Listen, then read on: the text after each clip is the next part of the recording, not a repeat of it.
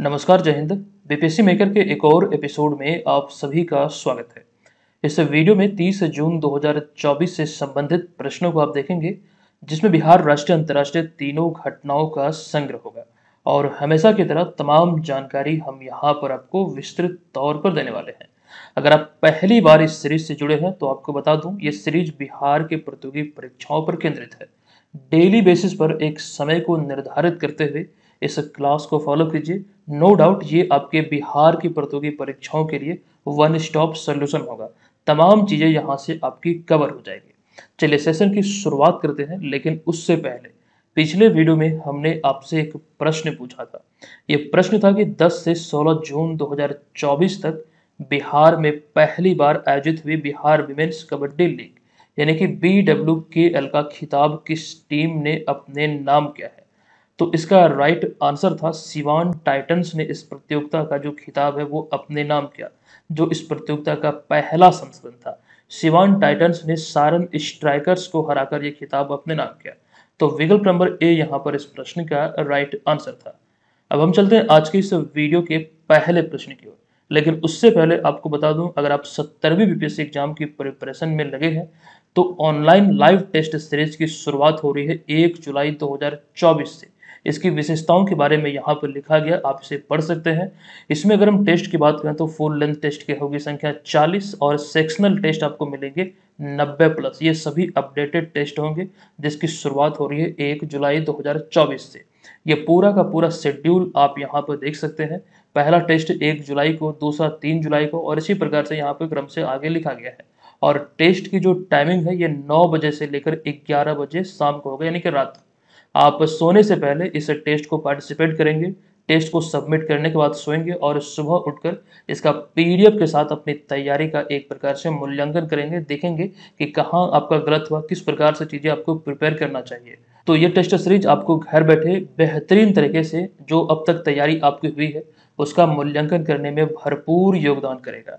अच्छा इस test series की बात करें तो ये लाइव मोड में होगा, लेकिन यहाँ पर एक बात ये भी है, इसकी विशेषता, अगर आप लाइव मोड में इसे इस टाइम पीरियड में ज्वाइन नहीं करते हैं तो बाद में भी इसमें आप पार्टिसिपेट कर सकते हैं।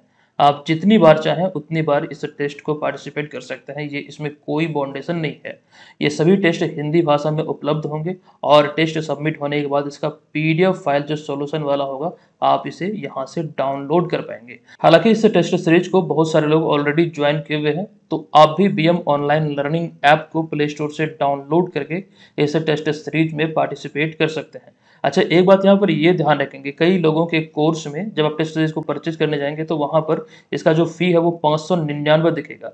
तो ऐसी स्थिति में आप वहाँ पर जो कूपन कोड है, एक ऑप्शन होगा कूपन कोड डालने का बी एम फोर हंड्रेड वहाँ पर आपको डालना है। कूपन कोड जब अप्लाई हो जाएगा तो चार सौ रुपये का यहाँ पर आपको डिस्काउंट मिलेगा। एक नॉमिनल सा चार्ज पर, एक नाम मात्र का चार्ज पर एक सौ निन्यानवे रुपये में ये तमाम टेस्ट सीरीज़ का आप लाभ उठा पाएँगे। और कोई जानकारी चाहिए तो हमारा जो हेल्पलाइन नंबर है, उस पर आप संपर्क कर सकते हैं। चलिए, अब यहाँ पर हम आ चुके हैं आज के इस वीडियो के पहले प्रश्न में ये पहला प्रश्न है कि बिहार में कहा हाल ही में 28 जून 2024 को Khelo India state centre of excellence का उद्घाटन किया गया? इसका राइट आंसर होगा विकल्प नंबर ए यानी कि इसका उद्घाटन अभी हाल ही में पटना में किया गया, जो पाटलिपुत्रा स्पोर्ट्स कॉम्प्लेक्स है वहीं पर। देखिए, वही सारी जानकारी यहाँ पर लिखी गई कि पाटलिपुत्रा स्पोर्ट्स कॉम्प्लेक्स पटना में Khelo India state centre of excellence का उद्घाटन किया गया, जहाँ पर बिहार के खिलाड़ियों को राष्ट्रीय और अंतर्राष्ट्रीय स्तर पर प्रशिक्षण मिलेगा। जिस प्रकार से पिछले तीन चार वर्षों में बिहार के खिलाड़ियों ने खेल के क्षेत्र में बहुत मतलब कर सकते हैं, उपलब्धियाँ हासिल की है और बिहार को गौरवान्वित होने का मौका दिया है। तो ये यही परिणाम है कि जब बिहार सरकार इसको लेकर बहुत ज़्यादा प्रतिबद्ध हुई, इस पर बहुत सारी घोषणाएँ हुई है और ये चीज़ें आपके लिए इम्पोर्टेंट हो जाती है, खास करके आगामी एग्ज़ाम के दृष्टिकोण से। और खेल और खिलाड़ियों को लेकर बहुत सारी जानकारी ऑलरेडी हम आपको दे चुके हैं।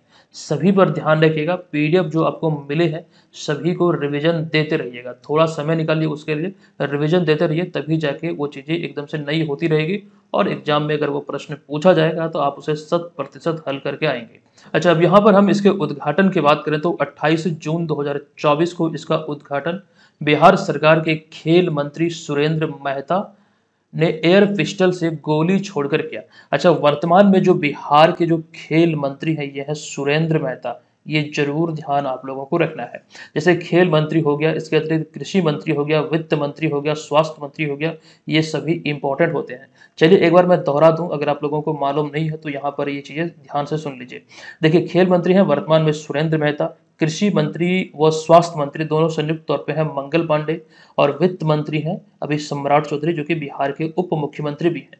कंप्लीट जो जानकारी है मंत्रिमंडल को लेकर, जो 15 मार्च को 15 मार्च 2023 को, जो तेईस नहीं बल्कि 24 को, जो इसका विस्तार हुआ है, उसको लेकर जानकारी हमने आपको दिया है। अच्छा यहाँ पर अगला पॉइंट है कि यहीं पर खेल मंत्री सुरेंद्र मेहता ने बुनियादी स्तर पर खिलाड़ियों की क्षमता और योग्यता को तराशने के लिए राज्य के हर पंचायत में खेल क्लब खोलने का निर्णय लिया है। ये घोषणा यहीं पर इनके द्वारा किया गया है। ये ज़रूर ध्यान रखेंगे आप लोग। अच्छा बिहार में अगर हम खेल की बात करें या फिर राज्य के खेल की बात करें तो बिहार की जो राज्य के खेल है, ये है कबड्डी। और वर्तमान में बिहार राज्य खेल प्राधिकरण के जो महानिदेशक हैं, ये है रविंद्रन शंकर अच्छा बिहार राज्य खेल प्राधिकरण को कानूनी मान्यता कब मिली थी? तो 25 मार्च 2023 को। जिसके बाद से बिहार राज्य खेल प्राधिकरण किसी भी प्रकार की जो घोषणाएँ है, वो लेने के लिए खास करके स्वतंत्र है, खेल और खिलाड़ियों के संदर्भ में। चलिए, आगे चलते हैं। अच्छा यहाँ पर जो हम अभी बात कर रहे थे, बिहार से संबंधित खेलों की या फिर खेल की, ऐसे में एक अहम जानकारी मैं यहाँ पर आपको दे दूँ। दरअसल, अगर हम बात करें खेलो इंडिया यूनिवर्सिटी गेम्स की तो इसका चौथा संस्करण 2024 में 19 से लेकर 29 फरवरी तक आयोजित हुआ। इसका उद्घाटन हुआ था गुवाहाटी असम में। हालाँकि ये सा, जो सात पूर्वोत्तर राज्य है जो भारतीय राज्य सात पूर्वोत्तर वहाँ पर आयोजित हुआ। जिनमें कि असम अरुणाचल प्रदेश मेघालय मिजोरम सिक्किम नागालैंड और त्रिपुरा। अच्छा मोस्ट इंपॉर्टेंटली यहाँ पर ये ध्यान रखेंगे इसका जो शुभंकर था ये था अष्ट लक्ष्मी अच्छा इस प्रतियोगिता में पदक तालिका में चंडीगढ़ यूनिवर्सिटी पहले स्थान पर रही। उसके बाद lovely professional university Punjab, Guru Nanak Dev university Amritsar. अच्छा बिहार की एकमात्र यूनिवर्सिटी ललित नारायण मिथिला यूनिवर्सिटी दरभंगा की। यहाँ की महिला कबड्डी टीम ने एक ब्रॉन्ज मेडल अपने नाम किया। यानी कि इस चौथे संस्करण में खेलो इंडिया यूनिवर्सिटी गेम्स का बिहार ने केवल एक ब्रॉन्ज मेडल जीता। और इसके साथ पदक तालिका में बिहार को एक स्थान मिला है। ये चीज़ें यहाँ पर आपको ध्यान रखना है। क्योंकि बिहार की जो राज्य के खेल है, कबड्डी और कबड्डी महिला टीम ने ही इस खिताब को अपने नाम किया। अब यहाँ पर हम चलेंगे अगले प्रश्न पे। अच्छा उससे पहले एक जानकारी मैं आपको यहाँ पर देना चाहूँगा। दरअसल अभी हम बात कर रहे थे Khelo India state centre of excellence की। तो ऐसे में ये तो इम्पोर्टेंट है ही, लेकिन इसके अतिरिक्त हाल ही में कुछ महत्वपूर्ण उद्घाटन हुए हैं। जैसे कि बिहार में बापू परीक्षा परिसर और बापू टावर, ये एग्जैक्ट प्लेस आप ध्यान रखेंगे किस तिथि को हुआ उद्घाटन और किन के द्वारा उद्घाटन किया गया। इसके अतिरिक्त statue of social justice Swaminarayan मंदिर, जो कि यूएई अबू धाबी में, ये स्थापित पहला हिंदू मंदिर है। नरेंद्र मोदी द्वारा 14 फरवरी 2024 को इसका उद्घाटन हुआ। और इसके अतिरिक्त सुदर्शन केबल पुल, जो कि द्वारका, गुजरात में है 25 फरवरी 2024 को इसका उद्घाटन यहाँ पर किया गया। और बिहार को लेकर एक बात यह भी ध्यान रखेंगे कि बिहार के पटना में जो राजधानी पटना है, यहाँ पर भारत ही नहीं, बल्कि एशिया का पहला डॉल्फिन रिसर्च सेंटर खोला गया है। इसका उद्घाटन अभी हाल ही में 4 मार्च 2024 को नीतीश कुमार के द्वारा किया गया। इसके अतिरिक्त सेला सुरंग, जो कि अरुणाचल प्रदेश से संबंधित है, इसका भी उद्घाटन नरेंद्र मोदी द्वारा 9 मार्च 2024 को किया गया। ये कुछ हालिया महत्वपूर्ण उद्घाटन है, जिसको आपको यहाँ से ध्यान रखना है। चलिए, दूसरे प्रश्न पे आ चुके हैं। दूसरा प्रश्न है कि बिहार सरकार ने राज्य के सरकारी स्कूलों में शिक्षकों को अपनी हाजिरी या फिर उपस्थिति दर्ज कराने के लिए कौन सा मोबाइल एप्लीकेशन लॉन्च किया है? इसका राइट आंसर है विकल्प नंबर सी, यानी कि ई शिक्षा कोर्स, जो कि सरकारी स्कूल के शिक्षक इसी माध्यम से अपना उपस्थिति दर्ज करेंगे, अपनी हाजिरी बनाएँगे। तो विकल्प नंबर सी, यहाँ पर इसका राइट आंसर होगा। अब यहाँ पर आपको जानकर दे दूँ कि बिहार सरकार ने हाल ही में 25 जून 2024 को राज्य के तकरीबन अठहत्तर हज़ार सरकारी स्कूलों में पढ़ाने वाले लगभग पाँच लाख शिक्षकों और प्रधानाध्यापकों की हाजिरी या फिर उपस्थिति दर्ज कराने के लिए ई शिक्षा कोर्स मोबाइल एप्लीकेशन लॉन्च किया है। इस एप्लीकेशन का नाम यहाँ से आप लोग ध्यान रखेंगे। अच्छा इस ऐप के माध्यम से दिन में दो बार हाजिरी बनानी होगी। जो अटेंडेंस है, शिक्षकों की वो दो बार बनानी होगी या फिर बनेगी एक बार स्कूल आने के समय में और दूसरी बार ये स्कूल से घर जाते समय, यानी कि जब छुट्टी होगी। तो ये दो टाइम में इसका समय निर्धारित है। ये दो टाइम मतलब ये हाजिरी बनेगा। हालाँकि अगले कुछ दिनों तक ऑनलाइन के साथ साथ भौतिक रूप से रजिस्टर में, यानी कि ऑफलाइन तौर पर शिक्षक और प्रधानाध्यापक अपनी उपस्थिति दर्ज करेंगे। लेकिन बाद में इसे पूर्ण रूप से ऑनलाइन मोड ऑनलाइन मोड में ट्रांसफ़र कर दिया जाएगा। अच्छा एक बात यहाँ पर यह भी ध्यान रखिएगा, ये भी बातें निकल कर सामने आ रही है यह मोबाइल एप्लीकेशन स्कूल के पाँच सौ मीटर के दायरे में ही काम करेगा। इसमें कुछ टर्म्स एंड कंडीशन होंगे जिसके आधार पर यह बातें कही जा रही है। फ़िलहाल यहाँ पर ये चीज़ ध्यान रखिए। अच्छा बिहार के स्कूल की बात हो रही तो ऐसे में एक जानकारी रिसेंटली आपके बीपीएससी एग्ज़ाम में पूछा गया था, मिशन दक्ष के बारे में। मिशन दक्ष के बारे में जो डिटेल इन्फॉर्मेशन हमने आपको बतलाया है, वो आप ध्यान रखेंगे। अच्छा इसके अतिरिक्त रिसेंटली एक घोषणा हुई थी कि सरकारी स्कूलों के बच्चों को प्रत्येक मंगलवार को दूध पीने को दिया जाएगा। लेकिन अब ये जो फैसला हुआ था, जो घोषणा हुई थी, इसे वापस ले लिया गया है। फ़िलहाल अभी ये लागू नहीं होने वाली है। अच्छा यहाँ पर मोबाइल एप्लीकेशन की बात हो रही तो रिसेंटली कई सारे मोबाइल एप्लीकेशन लॉन्च हुए हैं। वो कंप्लीट सूची आप यहाँ पर देख रहे हैं किन के द्वारा लॉन्च किया गया, वो जानकारी हमने यहाँ पर दिया है। हालाँकि इस सीरीज़ में तमाम एप्लीकेशन के बारे में डिटेल इन्फॉर्मेशन आपको दी गई है। यहाँ पर एक ही जगह ये तमाम चीज़ों को देख रहे हैं। चलिए, फ़िलहाल इसे स्किप करते हैं, चलते हैं अगले प्रश्न पे। अब यहाँ पर अगला तीसरा प्रश्न है कि किस देश ने दक्षिण अफ्रीका को हराकर 29 जून 2024 को 17 साल बाद आईसीसी टी क्रिकेट विश्व कप 2024 का नौवा संस्करण का खिताब जीता है पुरुष कैटेगरी में। ठीक है, इस खिताब को अभी हाल ही में दक्षिण अफ्रीका को हराकर भारत ने अपने नाम किया है और 17 साल के बाद ये आईसीसी टी ट्वेंटी विश्व कप का खिताब भारत ने अपने नाम किया। विकल्प नंबर ए यहाँ पर इस प्रश्न का राइट आंसर होगा। देखिए आईसीसी टी ट्वेंटी विश्व कप की बात करें तो कई सारी जानकारी है यहाँ पर, ध्यान से सभी को देखिएगा। सभी पॉइंट अपने आप में एक प्रश्न है। पहला पॉइंट है कि ICC T twenty cricket world cup या फिर क्रिकेट विश्व कप 2024 का जो आयोजन था, ये एक जून एक से लेकर 29 जून 2024 तक वेस्टइंडीज और अमेरिका में आयोजित किया गया, जो इसकी मेजबानी थी इस वर्ष नौवे संस्करण को लेकर, इन दोनों देशों के पास थे। और ये कब से कब तक आयोजित हुआ तो एक से लेकर 29 जून 2024 तक। देखिए, इसका फाइनल मुकाबला 29 जून 2024 को बारबाडोस वेस्ट इंडीज में खेला गया, जहाँ पर दक्षिण अफ्रीका को सात रन से हराकर दूसरी बार आईसीसी टी ट्वेंटी क्रिकेट विश्व कप पुरुष कैटेगरी वाला ये खिताब भारत ने अपने नाम किया है। देखिए, यहाँ पर एक सेकंड भारत शब्द छूट गया है। दक्षिण अफ्रीका को हराकर भारत ने दूसरी बार, यहाँ पर आप लोग ऐड कर लेंगे, हम भारत की बात कर रहे हैं, और ये इस प्रतियोगिता का नौवा संस्करण है तो ये ध्यान रखिए। अगले पॉइंट में बात करें तो फाइनल मैच में प्लेयर ऑफ़ द मैच का जो खिताब मिला ये किताब नहीं, बल्कि खिताब होगा। खिताब विराट कोहली को मिला, जबकि वहीं पर तेज गेंदबाज जसप्रीत बुमराह को ICC player of the tournament का खिताब दिया गया। ये ध्यान रखिए, दोनों कैटेगरी जो यहाँ पर खास करके प्लेयर ऑफ़ द मैच और प्लेयर ऑफ़ टूर्नामेंट को लेकर है, ये पूछा जा सकता है। अच्छा अभी हम आपको जो ये जानकारी दे रहे हैं, ये दूसरी बार है जब इस खिताब को भारत ने अपने नाम किया है। लेकिन यहाँ पर आपको ये ध्यान रखना है कि इससे पहले, पहली बार 2007 में दक्षिण अफ्रीका की मेजबानी में जो ICC T twenty world cup आयोजित हुआ था, और आपको ध्यान रखना इसी विश्व कप में जो 2007 में खेला गया था, ये इसका उद्घाटन संस्करण था। इस खिताब को पाकिस्तान को हराकर भारत ने अपने नाम किया था।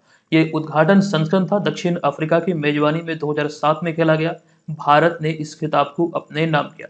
अच्छा एक बात यहाँ पर आप लोग ये भी ध्यान रखेंगे कि आईसीसी टी ट्वेंटी विश्व कप की सबसे सफल टीमों की बात करें तो भारत वेस्टइंडीज और इंग्लैंड है। जिन्होंने दो दो बार इस खिताब को अपने नाम किया है। आगे हम बतलाएँगे कब कब ये खिताब अपने नाम किया है। अच्छा भारत को लेकर तो आप जान चुके हैं, एक बार 2007 में और एक बार अभी हाल ही में 2024 में। अच्छा एक जानकारी आप लोग ध्यान रखेंगे, पिछले वीडियो में हमने बतलाया था कि दक्षिण अफ्रीका आज तक किसी भी आईसीसी टूर्नामेंट के फाइनल में अब तक नहीं पहुँचा था। लेकिन इस बार 2024 में पहुँचा, लेकिन ये टूर्नामेंट अपने नाम नहीं कर सका और आपको ध्यान रखना है। इसीलिए ये पॉइंट हमने यहाँ पर लिखा है कि आज तक दक्षिण अफ्रीका आईसीसी का किसी भी फॉर्मेट का जो मतलब जो खिताब है, वो अपने नाम नहीं कर पाया। है भले ही इस वर्ष पहली बार 2024 में यह फाइनल में पहुँचा था। अच्छा आईसीसी क्रिकेट विश्व कप को लेकर कई सारी जानकारी है जो आप यहाँ पर देख रहे हैं।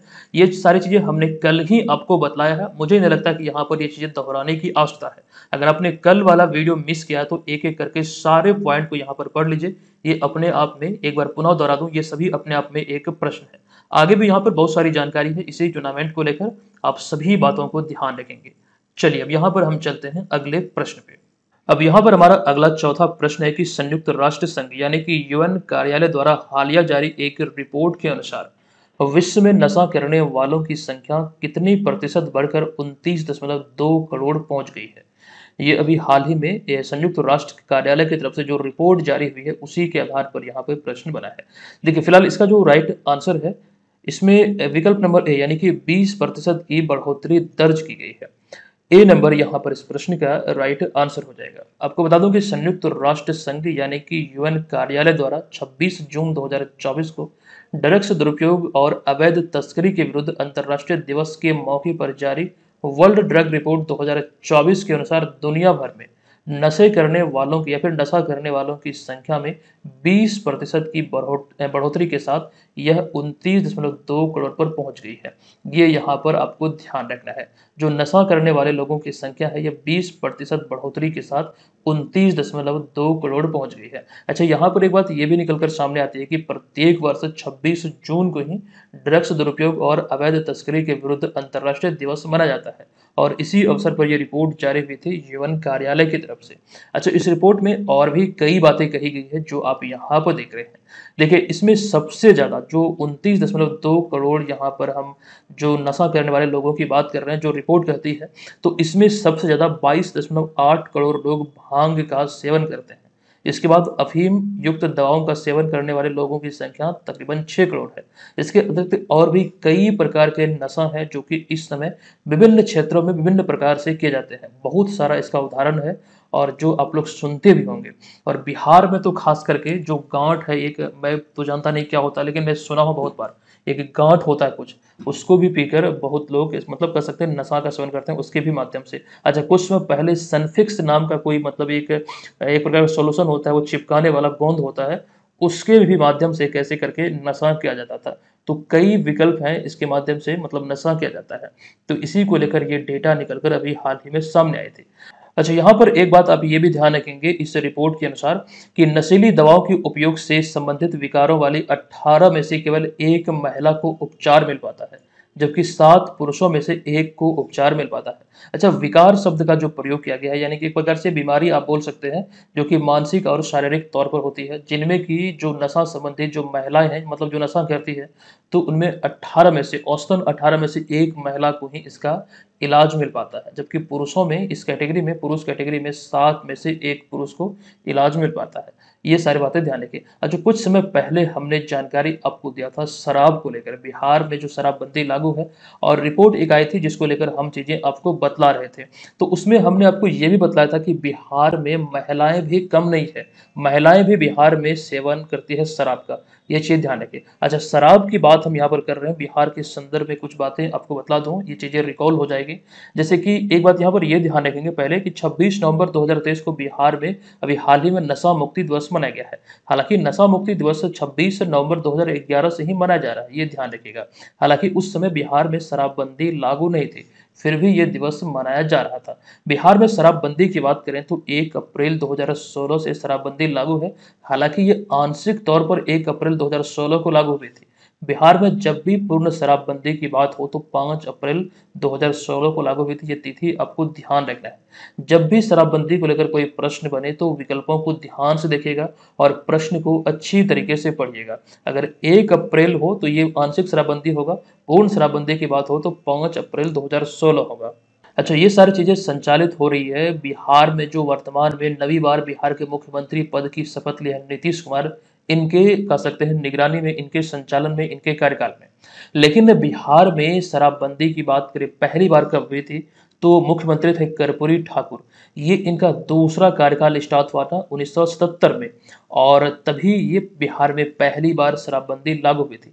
हालाँकि ये लंबे समय तक नहीं चल पाई, दो साल पश्चात ही उन्नीस में इस कानून को भंग कर दिया गया। तो फ़िलहाल यहाँ पर इतनी सारी बातें ध्यान रखना है। कर्पूरी ठाकुर की बात हुई तो अभी रिसेंटली इन्हें भारत रत्न से सम्मानित किया गया और ये पाँचवें शख्स बने हैं बिहार से, जिन्हें भारत रत्न से सम्मानित किया गया है। नेक्स्ट यहाँ पर पांचवा प्रश्न आपके समक्ष है कि हाल ही में किस सुप्रसिद्ध लेखिका को प्रतिष्ठित पेन पिंटर पुरस्कार 2024 से सम्मानित किए जाने की घोषणा हुई है? ये घोषणा अभी हाल ही में हुई है और किन को लेकर हुई है? तो राइट आंसर होगा अरुंधति रॉय। विकल्प नंबर सी यहाँ पर राइट आंसर है। अरुंधति रॉय को आप यहाँ पर तस्वीर में देख रहे हैं। देखिए, हाल ही में सुप्रसिद्ध भारतीय लेखिका अरुंधति रॉय को प्रतिष्ठित पेन पिंटर पुरस्कार 2024 से सम्मानित किए जाने की घोषणा भी है। और घोषणा के अनुसार उन्हें यह सम्मान जो मिलेगा, ये 10 अक्टूबर 2024 को ये पुरस्कार समारोह जो आयोजित होगा, वहाँ पर इन्हें सम्मानित किया जाएगा। अच्छा पिछले 2021 से हम ये पेन पिंटर पुरस्कार को लेकर जानकारी आपको देते आए हैं। तो 2021 में जो हमने आपको जानकारी दिया था, सी सी डांगा रिमका जो कि जिम्बाब्वे की है, इन्हें सम्मानित किया गया था। और 2022 में सम्मानित किया गया इंग्लैंड की मेलोरी ब्लैकमैन को। 2023 में हमने आपको जानकारी दिया था, इंग्लैंड के माइकल रोसेन को सम्मानित किया गया था। ये चीज़ें यहाँ पर ध्यान रखें और 2024 के लिए चयन किया गया अरुंधति रॉय का। अच्छा यहाँ पर कुछ जानकारी और भी आपके समक्ष हमने रखा है, जैसे कि अरुंधति रॉय से संबंधित ये प्रश्न आपसे पूछा जा सकता है। अच्छा पुनः इस बात को हम दोहरा दें आपको कि जो चीज़ें खबरों में रहती है, उनसे मिलते जुलते प्रश्न अब एग्ज़ाम में पूछे जा रहे हैं, करेंट अफेयर सेक्शन में। तो इसी के अनुरूप यहाँ पर एक पॉइंट हमने आपके समक्ष रखा कि अरुंधति रॉय को वर्ष उन्नीस में उनके उपन्यास, जो कि बहुत प्रसिद्ध हुई थी the god of small thing इसके लिए बुकर पुरस्कार से उन्हें सम्मानित किया गया था। इसके कवर पेज को आप यहाँ पर इस तस्वीर में देख सकते हैं the god of small thing के। अच्छा पेन पेंटर पुरस्कार की जो स्थापना हुई थी, वर्ष 2009 में इंग्लिश पेन संस्था द्वारा नोबेल साहित्य पुरस्कार विजेता हेरोल्ड पेंटर के सम्मान में किया गया था। ये यहाँ पर ध्यान रखें, इन्हीं के सम्मान में इस संस्था की स्थापना की गई थी। अच्छा एक जानकारी और, अगर हम बात करें इससे पहले 2014 में यह पुरस्कार भारतीय मूल के ब्रिटिश अमेरिकी उपन्यासकार सलमान रुशदी को दिया गया था। आप यहाँ पर सलमान रुश्दी को इस तस्वीर में देख रहे हैं। अच्छा पेन पिंटर पुरस्कार को लेकर तो ये जानकारी रिसेंटली निकलकर सामने आती है, ये ध्यान रखना ही, रखना है। लेकिन यहाँ पर देखिए, एक शब्द हमने प्रयोग किया है, बुकर पुरस्कार। और बुकर पुरस्कार से संबंधित प्रश्न अभी रिसेंटली आपके बीपीएससी एग्ज़ाम में पूछा गया है। और कौन सा पूछा गया है तो यहाँ पर आप देखेंगे, ये वाला 2023 वाला जो अंतरराष्ट्रीय बुकर पुरस्कार दिया गया, जॉर्जी गोस्पोन्टिनो को, जो कि बुल्गारिया के हैं, इनकी रचना टाइम सेंटर के लिए। और इसका अंग्रेज़ी में अनुवाद किया गया था एंजेला रोडेल के द्वारा। ये ध्यान रखें अच्छा इससे पहले 2022 में जो अंतर्राष्ट्रीय बुकर पुरस्कार मिला था, ये भारत के उत्तर प्रदेश के हिंदी के लेखक जो गीतांजलि श्री है, इनकी रचना रेत की समाधि के लिए। इनका अंग्रेज़ी में, यानी कि इस पुस्तक का या फिर उपन्यास का जो अंग्रेज़ी में अनुवाद किया गया था, टॉम ऑफ़ सेंट के रूप में, ये डेजी रॉकवेल के द्वारा किया गया था। ये 2022 और 23 को लेकर आप चीज़ें ध्यान रखिए। लेकिन इसके अतिरिक्त, रिसेंटली जो दिया गया है अंतर्राष्ट्रीय बुकर पुरस्कार 2024 तो इसमें ध्यान रखेंगे जेनी एपेनबेग जो कि जर्मनी के हैं, इनकी रचना कैरोस के लिए इन्हें ये सम्मान दिया गया ये कैरोस जो रचना है, इसका अंग्रेज़ी में अनुवाद किया गया माइकल हाफमैन के द्वारा। आप सभी को यहाँ पर तस्वीर के भी माध्यम से देख सकते हैं। जो पूरी दुनिया में दिया जाने वाला एक महत्वपूर्ण पुरस्कार है, वो कंप्लीट सूची आप यहाँ पे देख रहे हैं। अच्छा वो चीज़ यहाँ पर हमने दर्शा भी दिया है, यही प्रश्न आपके एग्ज़ाम में पूछा गया था, ये वाला। अच्छा इसके अतिरिक्त ये पुराने हो चुके हैं, नीचे जो आपको दिख रहा है, ये सभी कुछ समय पहले दिया गया है, लेकिन इसमें कुछ नया नया अपडेट हुआ, जैसे कि अंठावनवा ज्ञानपीठ पुरस्कार दो हज़ार चौबीस, गीतकार गुलजार को उर्दू के लिए और संस्कृत के लिए विद्वान जगत गुरु राम भद्राचार्य को आप यहाँ पर दोनों को तस्वीर में देख रहे हैं। अभी हाल ही में जापानी वास्तुकार रिकेन यामामोटो को पृथ्वीगर आर्किटेक्चर पुरस्कार 2024 से सम्मानित किया गया। एक बात यहाँ पर यह ध्यान रखेंगे जापानी वास्तुकार ने ही इस पुरस्कार को सर्वाधिक बार अपने नाम किया है। अभी एवेल पुरस्कार 2024 को लेकर घोषणा हुई थी, फ्रांस के मिसेल टेलग्रांट को सम्मानित किया गया। ये चीज़ें यहाँ से ध्यान आपको अवश्य रखनी है। अब यहाँ पर अगले प्रश्न पे जाने से पहले एक जानकारी आप सबको दे दूँ। हालाँकि ये बतलाया गया है, आप लोगों को याद होगा कि प्रत्येक संडे को रात के आठ बजे लाइव टेस्ट का आयोजन होता है, जो कि सभी के लिए निःशुल्क है। इसमें पार्टिसिपेट करने के लिए आपको कुछ भी पे नहीं करना है। ये लाइव टेस्ट सीरीज़ पूरे सब्जेक्ट का होता है। सामान्य अध्ययन के प्रश्न इसमें शामिल होते हैं। एक तो आप इसके माध्यम से अपनी तैयारी को परख सकते हैं। दूसरा फ़ायदा यहाँ पर यह है कि अगर आप शीर्ष स्कोरर होते हैं लीडर बोर्ड में अगर आप रैंक वन हासिल करते हैं तो आप यहाँ पर हमारी तरफ़ से हज़ारों रुपये रिवॉर्ड जीतने का मौका पा सकते हैं प्रत्येक संडे को। तो आप लोग, जो लोग पिछले संडे को पार्टिसिपेट नहीं कर पाए थे, ज़रूर इसको पार्टिसिपेट कीजिएगा। आज रात्रि आठ बजे से साढ़े आठ बजे ये टेस्ट आपको मिलना, आधे घंटे का ये टेस्ट होता है और आपको ध्यान रखना है कि आठ बजे एग्जैक्ट आपको ज्वाइन कर लेना। अगर आठ बजे के बाद आप ज्वाइन करेंगे तो आपको एक तो कम समय मिलेगा। अगर साढ़े आठ बजे के बाद आप ज्वाइन करना चाहेंगे तो इसमें आप ज्वाइन नहीं कर पाएँगे, क्योंकि इसका जो टाइम ड्यूरेशन है वो आठ से साढ़े आठ के बीच ही है। तो जो लोग इच्छुक हैं, यहाँ पर बिना किसी शुल्क के इसमें पार्टिसिपेट कर सकते हैं। चलिए यहाँ पर अगला छठा प्रश्न है कि निम्नलिखित में से किस पूर्व बल्लेबाज को हाल ही में पाकिस्तान महिला क्रिकेट टीम का मुख्य कोच नियुक्त किया गया है। इनका नाम है मोहम्मद वसीम, जिन्हें अभी हाल ही में नियुक्त किया गया है। यानी आप यहाँ पर इस तस्वीर में देख रहे हैं। आपको बता दूँ कि पाकिस्तान के पूर्व बल्लेबाज और पुरुष टीम के मुख्य चयनकर्ता मोहम्मद वसीम को हाल ही में पाकिस्तान महिला राष्ट्रीय क्रिकेट टीम का मुख्य कोच नियुक्त किया गया है। ये नाम आप लोग ध्यान रखिएगा, जो कि वर्तमान में जो खास करके पाकिस्तानी राष्ट्रीय पुरुष क्रिकेट टीम है, इसके मुख्य चयनकर्ता है। अच्छा एक बात यहाँ पर ये ध्यान रखिए, महिला क्रिकेट की बात हो रही है, इसमें हमने चर्चा किया है। तो एक जानकारी आपको बता दूँ कि अंतर्राष्ट्रीय क्रिकेट परिषद, जो कि क्रिकेट की सर्वोच्च संस्था है, इसे शॉर्ट में कहा जाता है, आईसीसी। आईसीसी ने हाल ही में घोषणा किया था कि जो आगामी महिला टी ट्वेंटी विश्व कप है, इसका जो आयोजन है, ये तीन से लेकर 20 अक्टूबर 2024 तक बांग्लादेश में आयोजित होगा। यानी कि बांग्लादेश में ये टी ट्वेंटी विश्व कप का नवा संस्करण आयोजित होना है। 2014 के बाद यह दूसरी बार है जब बांग्लादेश को इसकी मेजबानी मिली है। ये भी यहाँ पर आप ध्यान रखेंगे। अच्छा यही चीज़ें अगर हम भारत के संदर्भ में बात करें तो भारत पहली और एकमात्र बार 2016 में महिला टी ट्वेंटी विश्व कप की मेजबानी किया था। अच्छा महिला टी ट्वेंटी विश्व कप पहली बार 2009 में खेला गया था। सबसे सफल टीम है ऑस्ट्रेलिया, जो कि छह बार इस खिताब को अपने नाम कर चुकी है। एक बार इंग्लैंड 2009 में, वेस्टइंडीज एक बार 2016 में। बाकी अब तक जितने मतलब प्रतियोगिता हुए हैं, इन दोनों के अतिरिक्त सर्वाधिक छह बार आठ संस्करण में से ये ऑस्ट्रेलिया ने अपने नाम किया है। ये चीज़ें ध्यान आपको रखना है। चलिए नेक्स्ट प्रश्न है कि 12 से 23 जून 2024 तक कजान रशिया में आयोजित ब्रिक्स गेम्स 2024 में भारत कितने पदक जीतकर पदक तालिका में कौन से स्थान पर रहा? देखिए, यहाँ पर दो तरीके का प्रश्न शामिल है। दोनों अगर आपको याद रहेगा तभी आप इस प्रश्न का राइट आंसर कर पाएँगे कि भारत ने कितना पदक जीता है और कितने स्थान पर रहा या फिर कौन से स्थान पर रहा। तो भारत 29 पदक जीतकर पदक तालिका में आठवें स्थान पर रहा। अतः विकल्प नंबर डी इस प्रश्न का राइट आंसर होगा। सबसे पहला पॉइंट ये ध्यान रखेंगे, ब्रिक्स गेम्स 2024 का जो आयोजन है, ये 12 से लेकर 23 जून 2024 तक रशिया कजान में आयोजित हुआ। कजान एक जगह है, रशिया में यहीं पर ये आयोजित हुआ है।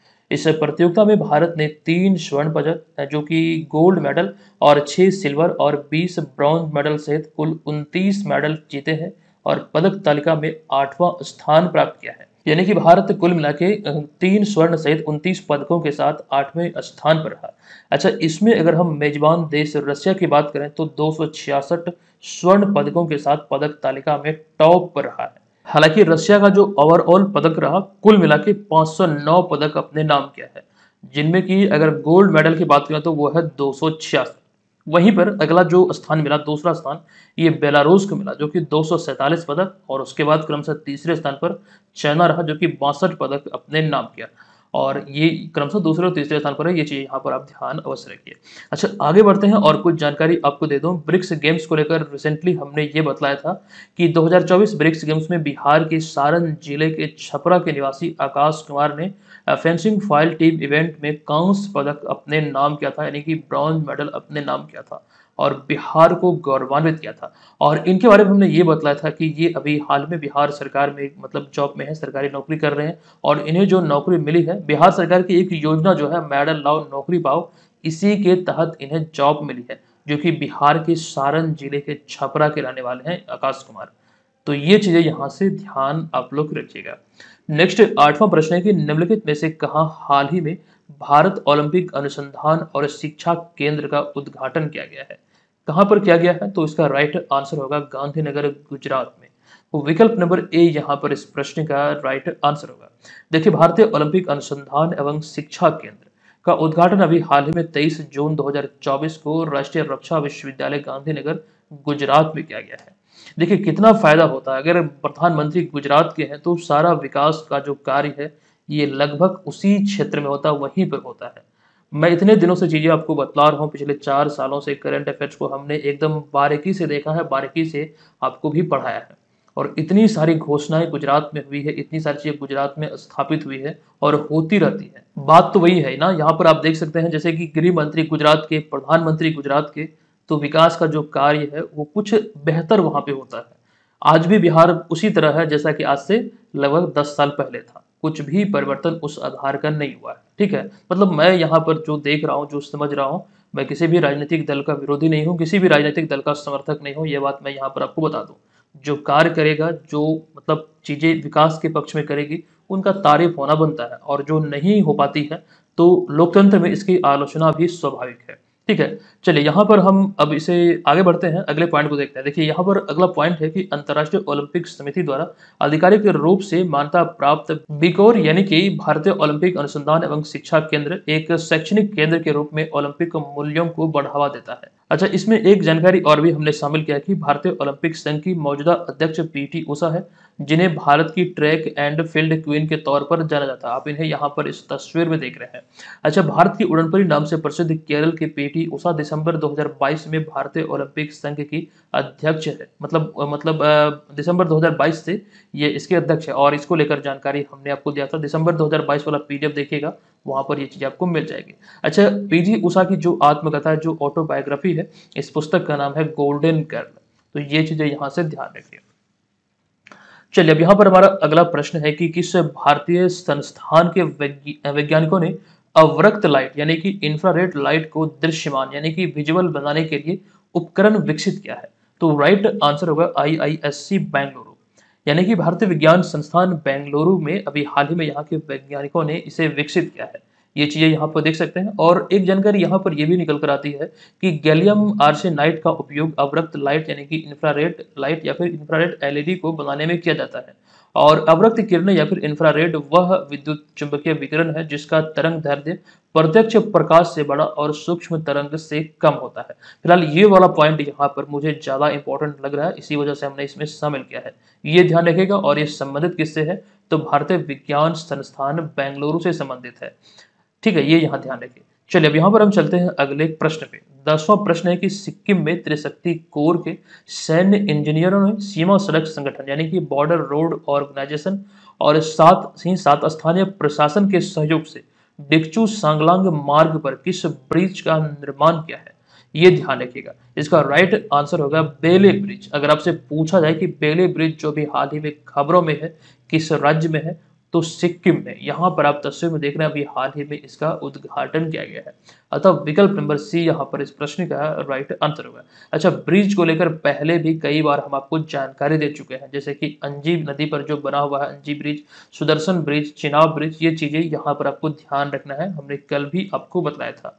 अच्छा उद्घाटन की बात हुई है तो ये उद्घाटन रिसेंटली हुए हैं, अभी कुछ समय पहले ही हम आपको बतला रहे थे, इसे इसकी पढ़ते हैं, आगे चलते हैं अगले प्रश्न पे। प्रश्न है कि निम्नलिखित में से कहा हाल ही में 27 जून को भारतीय लोक और जनजातीय कला प्रदर्शनी हुनर शुरू हुई है? ये हुनर एक प्रतियोगिता का नाम है या फिर एक प्रदर्शनी का नाम है? एक्चुअली में ये अभी हाल ही में कहाँ पर शुरू हुई? तो दुबई में। विकल्प नंबर सी यहाँ पर इस प्रश्न का राइट आंसर है। नेक्स्ट प्रश्न है कि प्रत्येक वर्ष की स्थिति को भारत में राष्ट्रीय बीमा जागरूकता दिवस, यानी कि नेशनल इंश्योरेंस अवेयरनेस डे मनाया जाता है? तो प्रत्येक वर्ष ये माना जाता है 28 जून को। और इस वर्ष 28 जून 2024 को भी ये मनाया गया है। विकल्प नंबर ए यहाँ पर इस प्रश्न का राइट आंसर होगा।